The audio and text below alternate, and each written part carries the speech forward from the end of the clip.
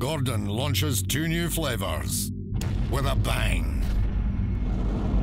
We gave this new explosive taste a very original name Xplosion. Discover Xplosion gin spices and red fruit with a mind blowing taste of. Uh, gin spices and red fruit. Gordon, nothing to prove.